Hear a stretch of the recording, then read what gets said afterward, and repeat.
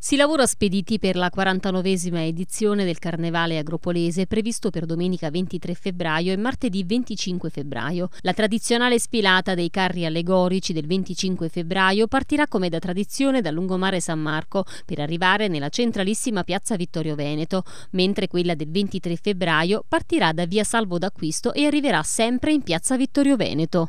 Oggi sono venuto a trovare gli amici carristi nei capannoni che stanno lavorando per eh, mettere in campo la 49esima edizione del Carnevale di Agropoli. Diciamo le date, eh, domenica 23 febbraio e martedì 25 febbraio, le sfilate dei fantastici, famosi carri allegorici. Ora eh, siamo qui proprio per sapere a che punto siamo, Sergio, con l'andamento dei lavori. Beh, eh, diciamo si procede spedito eh, siamo a buon punto per eh, il tempo che abbiamo a disposizione. In questo siamo ancora alla fase del ferro, eh, sa che comunque ci sono varie fasi, il ferro, la carta, la colorazione. Possiamo dire che ad oggi stiamo a buon punto, però bisogna lavorare.